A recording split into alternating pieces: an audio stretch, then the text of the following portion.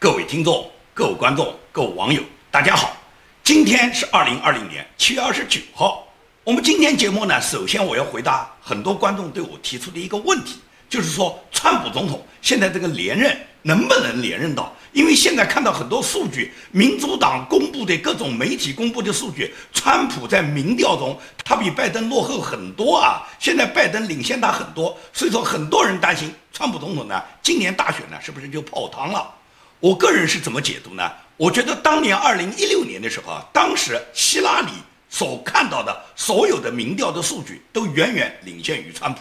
那不管当时左媒对川普是一个什么评价，因为那时候呢还没有那么多人去恨川普，只是呢他们看不上川普，他们认为川普不过就是共和党里面派出来凑数的一个商人，没有任何政治经验的人，这种人能当什么总统啊？所以说当时呢，整个所有美国的媒体呢是一边看好希拉里，所有的民调通通呢都是宣布希拉里，恨不得就宣布希拉里当选了。所以说在这种情况下呢，川普当时的民调是很低的。但是最终的结果，我们大家都看到，希拉里他的民调那么好，那么为什么投票的结果是人家川普当选呢？现在也是，到处你看到的民调都是拜登领先。认为就是川普不行，而且呢，美国呢讨厌川普的人很多。我们在媒体上看到的最多的就是抨击川普的语言，包括共和党里面很多大佬、建制派的大佬嘛，小布什、老布什嘛，这个布什家族对川普恨得咬牙切齿嘛。所以共和党里面有一批倒川的力量。那么更何况国际上面反对川普的，因为川普动不动跟人家贸易战嘛，就包括欧洲、包括日本、包括韩国这些国家，他们都未必这些国家都会说川普的好话。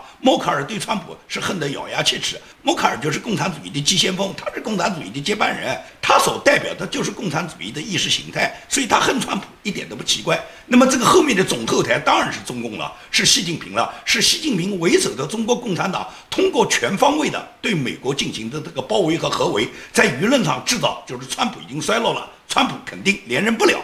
庚子年呢，一八四零、一九零零和一九六零年选上了三位美国总统都死于非命。说特朗普的命运如何？这个玩意 我还真不知道。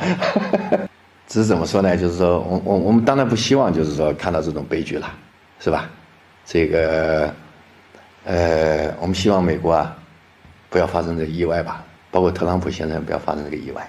因此，很多网友都有这方面的担心。我呢，作为一个时政评论的频道，我自己呢开播这个时政评论频道呢也有三年，马上就是一千期。这么多节目评论下来，可以讲是贯穿的整个川普他执政的整个全过程的。所以说，你要我来评价，我个人的评论就是。川普，我认为连任绝对没有问题，虽然会有一定曲折，那么在这个过程中，肯定有不断的事实发生。大家都看到今年的新冠疫情，后来的黑人命贵，然后导致的美国大量的这个失业，所以说呢，美国的经济不断的下滑，这些呢都给川普他自己要连任呢增加了非常多的困难因素。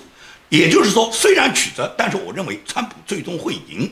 会赢主要是整个川普现在的这个基本盘，这个基本盘非常看好。所有的硬派团队现在已经找准了这个出击点，也就是要消灭中共、打击中共，然后排斥了中共对全球的影响以后，美国的经济肯定会提振。那么，川普呢？他过去呢，主要是民主党散布的这些所谓黑人命贵呢，引起一些黑人、一些少数民族、少数主义呢对川普的一种仇恨。那么，川普他自己也会调整啊。你看，川普他过去坚决不戴口罩，后来呢，川普呢有过一两次戴口罩的照片。但是，川普戴口罩，你有没有发现一个细节？就是川普戴的口罩是黑口罩。为什么是黑口罩？大部分人戴的口罩都是白口罩嘛。川普戴黑口罩，明显就有拉黑人选票的这个做法。也就是川普这种是一种行为艺术，从这种细节方面能表达他对黑人是关爱的。所以说呢，川普现在他整个这个内阁是密集出台了对中共很多制裁的这个政策，不管是现在在南海，还是在香港，还是在台湾，包括支持印度。这些所有的这些措施，它目的什么？目的就是要制造亚太地区的紧张气氛。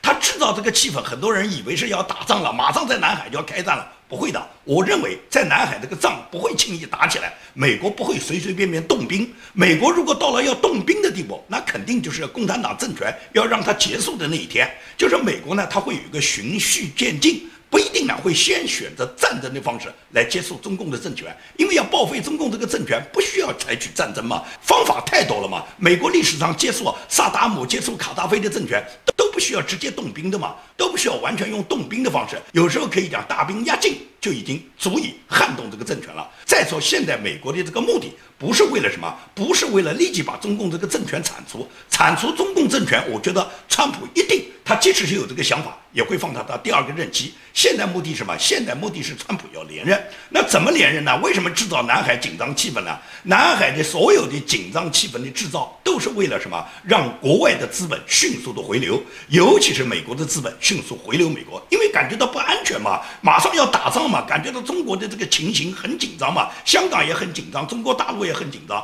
中美一旦开战的话，那我们这些资本的这个财富的安全性怎么保证呢？所以说，因为这个亚太地区它不断制造的这个紧张气氛，就会导致大量的外资呢迅速的回流美国。回流美国的目的是什么？川普就是为了支撑美国的股市，支撑美国的就业，支撑美国的经济，也就是稳定美国经济是川普的基本盘。美国的经济一旦向好，经济一旦完全恢复，或者不讲完全恢复，只要经济指标走上，不断的这个经济在看好，那么川普今年这个连任是没有任何疑义的。如果经济衰败，那就不好说了。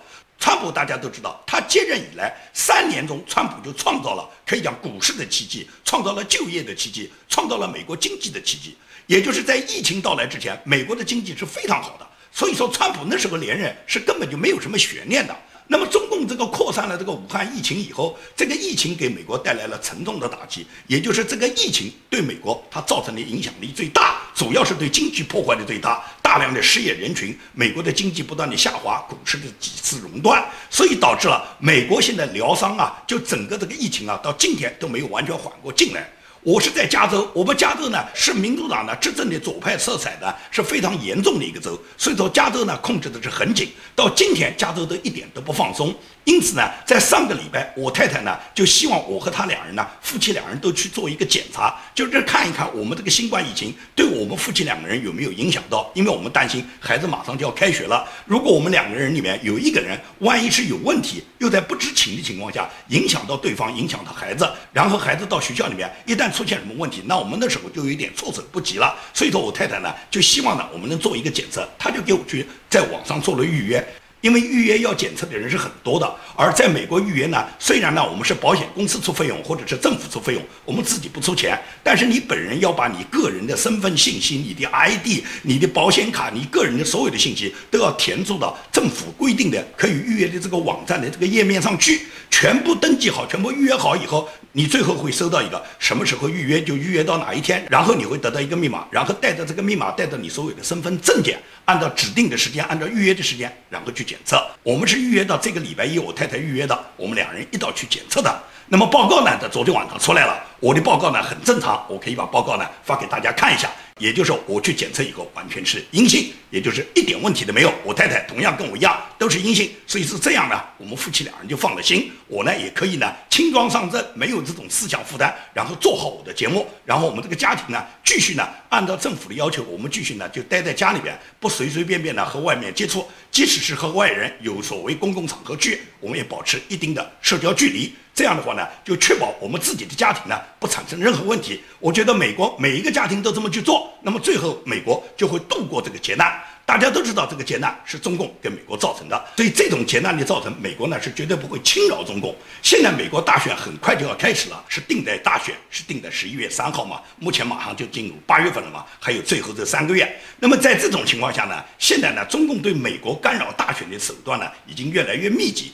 因此，多位参议员他们联署致信美国国家情报总监办公室、美国国土安全部部长和联邦调查局局长，表达了他们对抖音的这个担忧，也就是他们要求在美国应当是把抖音迅速的禁掉，因为这个抖音对美国社会啊，对美国这个思想意识形态被中共红色文化渗透啊，对美国年轻人干扰太大了，所以他们认为这个抖音要马上给予禁止。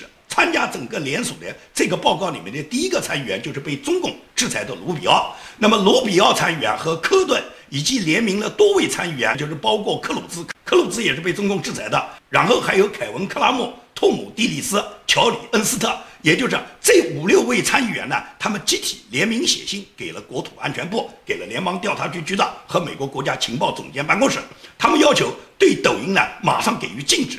根据他们参议员掌握的这些调查报告的内容，就认为抖音现在已经成为美国人，尤其是美国年轻人参与政治对话的热门的论坛，也就是美国人关心政治啊，最喜欢到抖音上去发表各种政治见解。那么，大部分年轻人都会在这个论坛上面呢发表自己不同的想法，因此对美国的年轻人呢影响非常大。中共呢会利用呢他对抖音的控制，然后来歪曲呢和操纵这些内容，然后就在美国人，尤其是美国的年轻人中间呢种下那些不和和仇恨的种子，实现他们对美国政治操纵的这个目标，最终呢是干扰美国的大选。所以说这几位参议员呢就要求呢把抖音呢要立即给予禁用。这个抖音在美国对美国的这个破坏力非常大，它完全是来自中共，它渗透美国社会、渗透美国意识形态所采取的一种手段。那么，包括微信，当然他们也提到，因为微信呢主要是在华人群体里面用，美国本地人呢用微信的人是非常少的，根本微信呢在美国人，尤其是美国年轻人中间呢没有流传开来。但是抖音呢，完全在美国年轻人里面已经流行了。可以讲，美国年轻人很喜欢上的一个软件就是抖音，他们的抖音上发布他们各种小视频，发布他们各种政治见解，已经把抖音作为他们讨论政治的一个论坛。而这个论坛你被中共占领了，你对美国的大选还能有利吗？因此可以这样讲，美国禁抖音、禁微信，这是美国打击中共、遏制中共一个最重要的一个手段。这个手段绝对不能再让了，因为中共可以讲，自从在香港推出国安法以后呢，就是变本加厉的，也就是他对抗自由世界，中共已经做好了鱼死网破的准备。但是美国对你中共肯定是不断的打击的。你看，有一个连带效应，就是香港现在众多高官，他们自己在外资银行存款啊，就被外资银行已经把款退回去了。也就是现在在香港的所有外资银行，除了中资银行之外，他们通通呢不接受香港高官的存款，更不接受大陆高官的存款。就是你们在我们这开户呢，你们的钱呢，我们现在退给你们，你们呢就不要在我们这开户了，因为我们不接受香港高官和中共高官在我们这里开户。美国很可能会对中共高官和香港官员进行制裁。如果一旦制裁以后，你们的钱在我们这就被冻结了，就拿不回去了。而且呢，我们肯定要冻结，否则这个银行呢就会被美国制裁。因此来讲，香港现在所有的外企银行现在都不接受中共官员和香港高官他们个人的存款，他们的款现在退回去，这就变成了什么？变成了中共这些高官啊，他们贪了钱以后，只能用人民币，只能存在中国国内，只能最后转化为中共规定的数字货币。有了数字货币以后，过去这个钱你藏都没用了，因为什么？有了数字货币以后就不要纸币了嘛，最终整个数字货币会替代纸币的，纸币你没地方藏。那么中共的官员，他这个纸币他也搬不过来，他们钱太多，可以讲他们一个人贪都贪几千万、几个亿，几个仓库都放不下，他不可能放那么多纸币，不安全。但是转为数字货币呢，那么纪委就知道了，你怎么会有那么多钱的呢？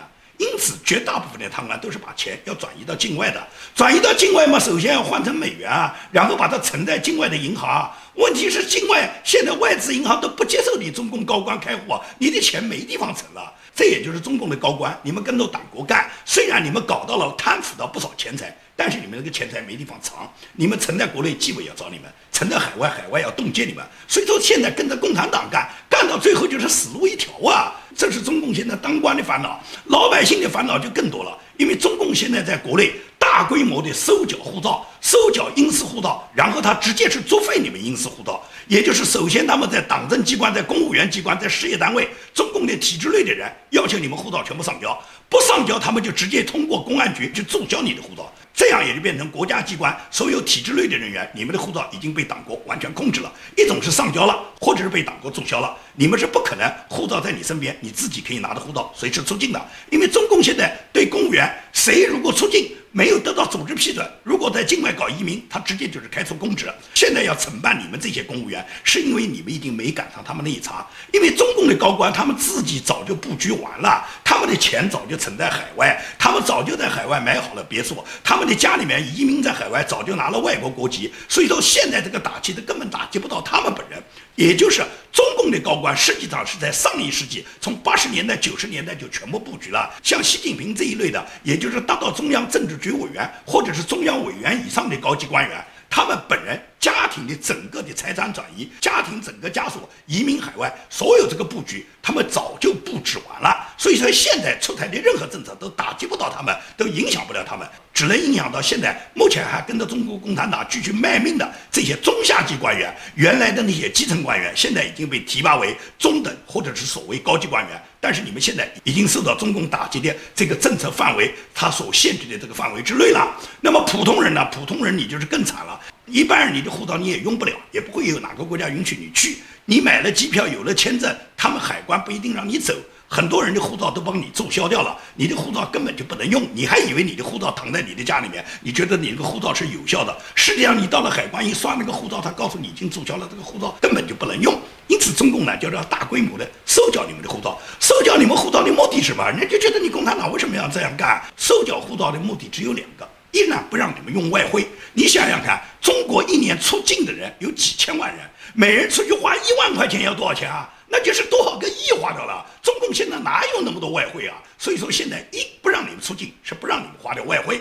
第二个什么？第二个是把你们的护照收掉以后，你们不要想到动不动跑到国外移民，然后去歌颂什么帝国主义怎么好，资本主义怎么好，你们就老老实实在家里面做韭菜。你们都跑了，我们这个韭菜怎么去收割啊？这个韭菜要一茬一茬的割，很多人认为韭菜已经割得差不多了，其实没有。中国有十四亿人，这个韭菜是割不完的。这个韭菜收割了以后又长啊！你看看现在很多年轻人买房的，现在很多年轻人买房，一买房就是几百万，在深圳、北京，在北上广买一套房子要千把万。买这个房子的人实际上就是高位接盘。中国的房市走过了二十年的牛市。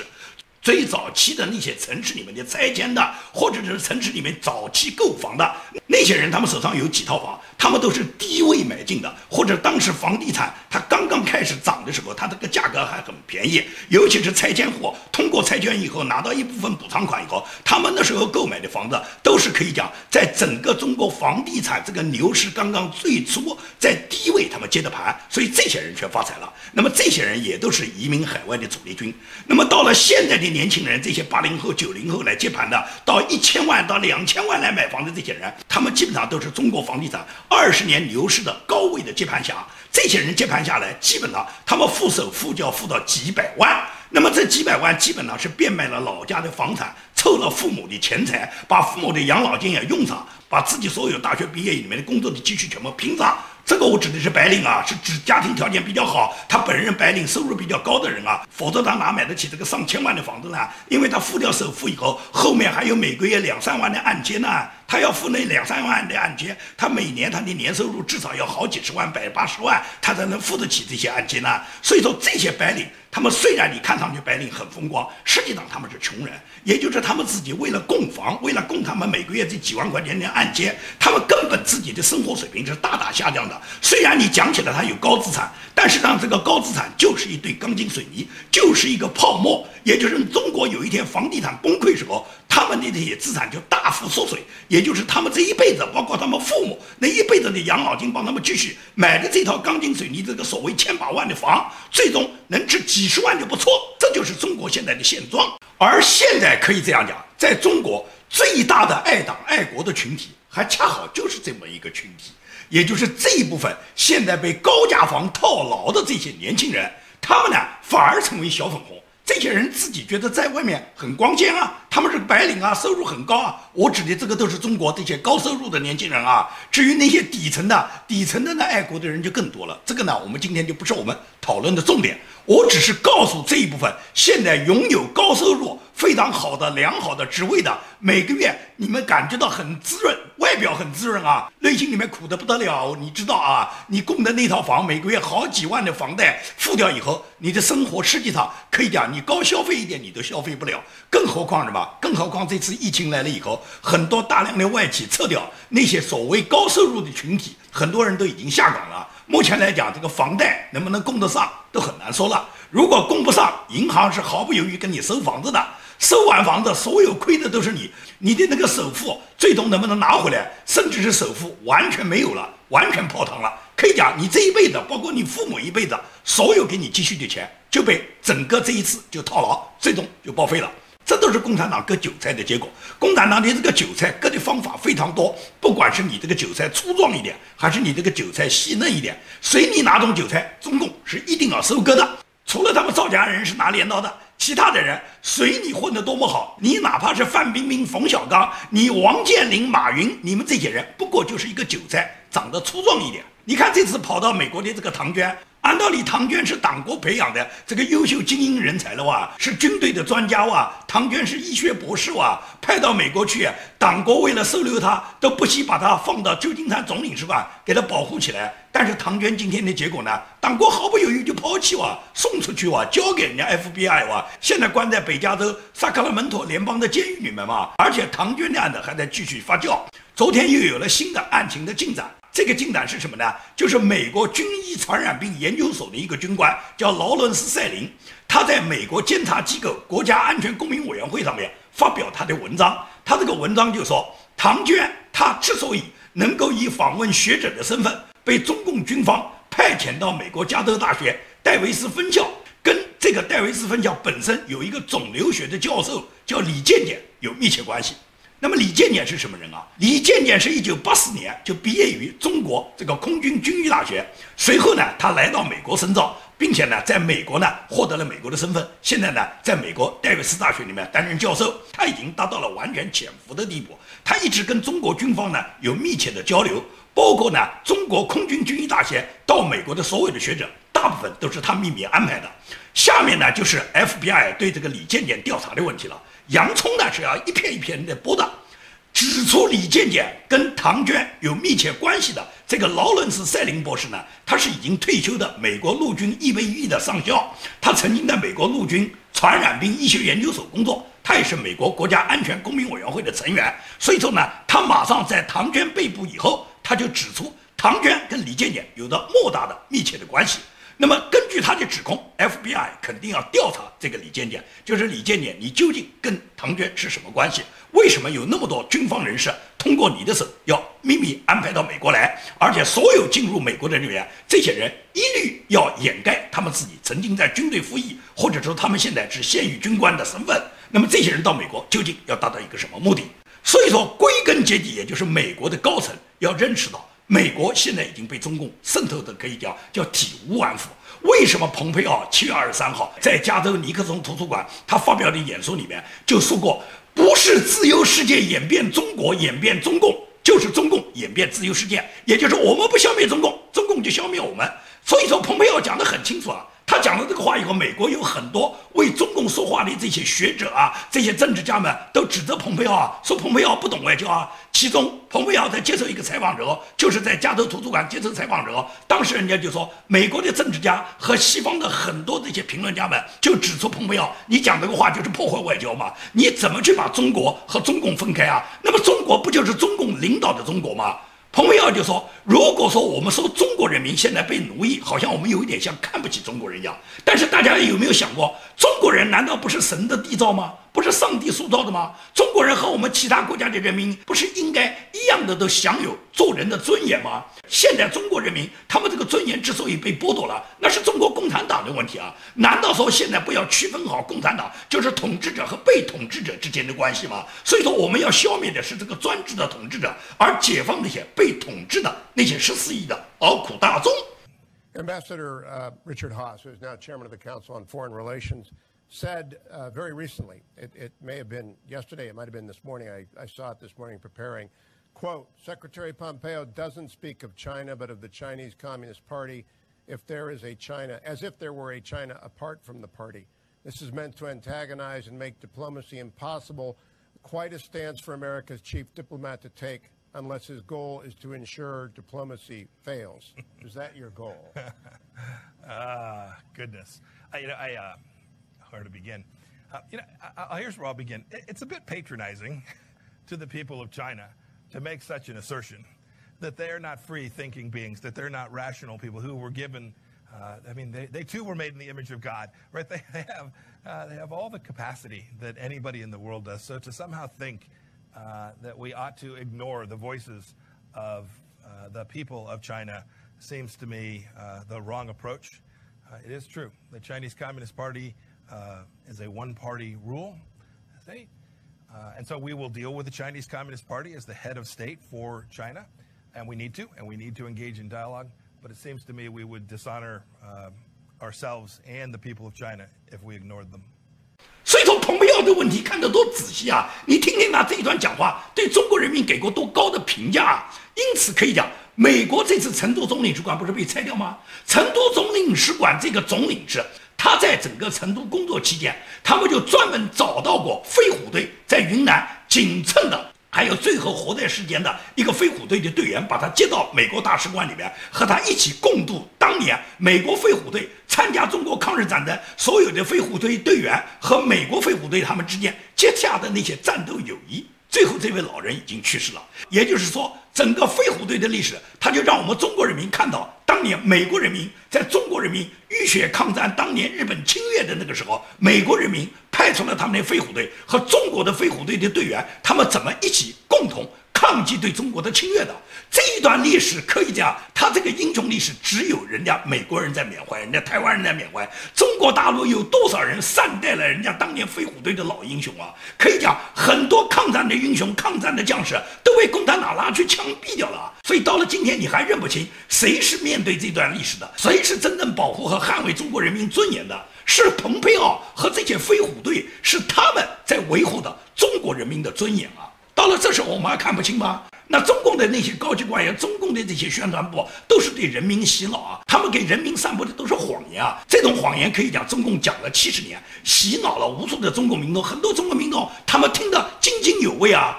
国防大学有一个教授叫徐嫣，这个徐嫣本身是个红二代，他曾经就在香港问题上发表过一个言论，就说香港坏，主要是家长坏，因为这些家长都是被我党镇压的人。现在一些年轻人闹事儿，关键他其实讲起来他是家长坏。香港的社会基础，咱们实事求是讲，是中国最坏的地方，比台湾都坏。就是这个徐渊，徐渊本身是个红二代，他的父亲叫徐明，本来是空军的副参谋长，他娶的老婆也是红二代，是中共原来最高人民检察院的检察长黄火清的女儿，叫黄义宇。这个黄义宇在香港有着大量复杂的个人的利益关系，所以说这个徐渊对香港人痛恨的要命。他除了骂人家香港家长坏，他最近又大放厥词，就说中共有一个大将啊，叫黄克诚。他说黄克诚回忆当年毛泽东在井冈山时候，他是给官兵不发饷的。他说这个官兵不发饷，他自古以来军队也就是军官靠薪，士兵靠饷，不发饷，那么怎么跟着你干革命呢？毛泽东就说我们给你们发土地，我们打土豪分田地，我们睡地主的小老婆。黄克诚讲嘛，他对毛主席印象最深的第一件事儿，就是到井冈山下。宣布我军队从此不能发饷。自古以来，将靠薪，兵靠饷。当兵的不发饷，这个军队还能维持吗？事后证明，不但能维持，还能发展壮大。靠什么呢？第一条，官兵一致，大家都没法，都没想了。第二条，给当兵的发个最大的饷，什么饷？土地嘛。土地革命，打土豪分田地。所以你看看，共产党都是个什么政权？那个土地在哪？土地在人家手上。毛泽东凭什么把人家的私有土地就分给他的官兵，分给他的士兵啊？毛泽东不过是给他们画大饼啊。这是一个怎样的流氓杀人集团啊！把别人家的土地当做军饷去发放，以杀人抢劫不犯法，这就是最大的奖励。这就是共产党他们拉起来的队伍，也就是共产党从抢劫起家，从杀人起家，去给别人画大饼，给他的这些士兵告诉他，别人家那个土地将来就归你啊，你跟着我干革命啊！所以说呢，这就是中共他欺骗人民的方式。当然了，中国人好骗了。中国人被专制制度奴役了几千年，几千年来他们的这种封建文化，他们呢可以讲是基本没有是非，非常容易骗。几千年来中国的历史就是骗人的历史。中国文化里面的什么草船借箭、暗度陈仓、瞒天过海、空城计，哪一条计你总结起来不是一个骗子啊？而这些骗人的这些阴谋诡计。中国人把它引以为豪，说成是智慧，这就是为什么当一个中国人他去骗了别人钱以后，周围人知道他骗到了钱以后，没有人指责他是骗子，反而认为呢他有能力。当然了，骗钱这是小骗子，可以讲骗有三种：骗钱、骗色、骗情怀。共产党就是骗情怀、骗理想，骗着你们跟着他走。五千年文化熏陶下来，这个群体绝大多数人可以讲是好坏不分的。共产党只是把中国这个文化里面的最糟粕的部分，把它发挥到极致，把它黑白颠倒，把它指鹿为马。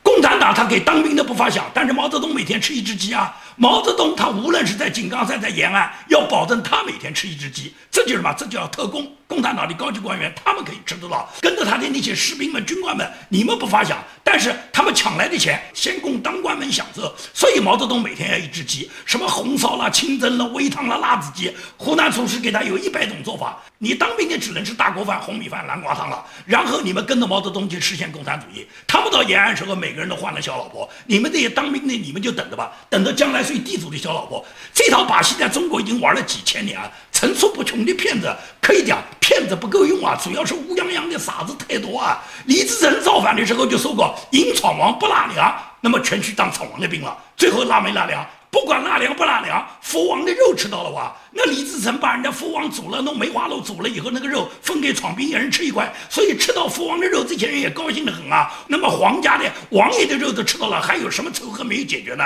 洪秀全当时不也说吗？洪秀全造反之后说有田同耕，有鱼同穿，有饭同吃，无处不均匀，无人不保暖。最后变成他一个人有一千多个妃子，而跟着他一起打天下，从广西来的太平天国的那些普通将士们，夫妻都不可以同房的。这就是他们给普通人宣传的共产主义。所以共产主义得来的好处就是当官们享受。共产党今天也是特工，为什么收掉你们的护照？他们的护照已经不需要了，因为他们已经是外国身份，他们随时可以出境，以后出国就是一个特权，老百姓也就算了。这就是共产党统治，你到今天还没有认清，你还在那岁月静好，还在那歌颂共产党。最终，共产党是在一茬茬收割你的韭菜。共产党就是靠你们这些韭菜养活和滋润了他们所有的这些造家人。所以说我这个节目就是什么，就是要揭露共产党的真相，让共产党的真相暴露在普通草民面前。当草民们都觉醒了，响应蓬佩奥的号召了。中国人民也自动站起来来推翻你们共产党了。美国在率领着我们，美国在给我们支持，那最终共产党就完蛋了。好，今天的节目就做到这里，谢谢大家。